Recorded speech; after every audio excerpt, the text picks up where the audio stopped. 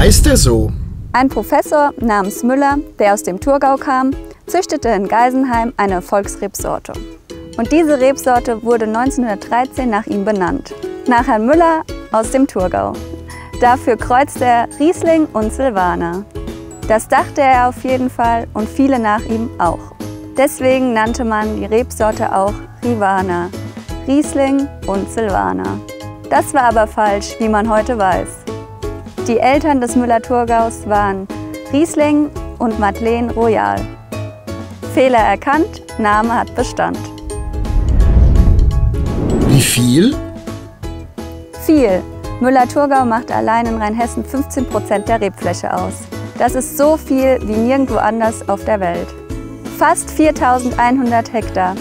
Das entspricht 4100 Fußballplätzen. Der Müller-Thurgau hat nach wie vor in Rheinhessen eine große Bedeutung und liegt nach dem Riesling auf Platz 2. Warum? Okay, Müller-Thurgau hat vielleicht nicht die große Reputation wie seine noblen Weißweinkollegen. Aber er ist sehr populär. Lieschen Müller fährt voll auf den Müller ab. Müller-Thurgau steht ebenso im Supermarkt in Kastrop-Rauxel als auch als alte Rebenedition beim Feinfachhändler in Hamburg. Was braucht der Müller im Weinberg? Er ist eigentlich ganz genügsam. Im Anbau recht unkompliziert mit stabilen Erträgen auf hohem Niveau. Er liebt nährstoffreiche Böden und kühle Lagen. Ansonsten hat er nicht viele Ansprüche ans Klima und reift gerne früh.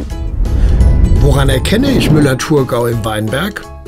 Das ausgewachsene Blatt ist mittelgroß und fünflappig, tief gebuchtet und stark gewellt. Die Traube ist mittel bis groß, konig und oft geschultert. Die Beeren sind mittelgroß oval, gelblich bis grün gefärbt. Wie erkenne ich Müller-Thurgau im Glas? Er duftet einfach. Zitrone, Muskat, grüner Apfel oder auch grüne Paprika. Tolle Jahrgänge duften nach Limette und Minze, zeigen ihre Aromenvielfalt von Mango und Maracuja bis hin zur schwarzer Johannisbeere.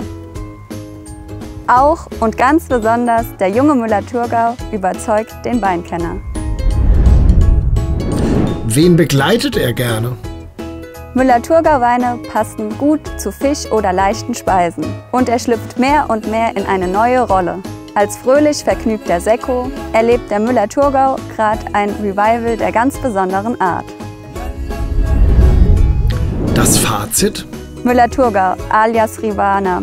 Zwei Namen, die für den einen Big Player aus Rheinhessen stehen. Sein leichtes Understatement verhindert nicht, dass er mit seinem Duft und seinen Aromen verzaubert.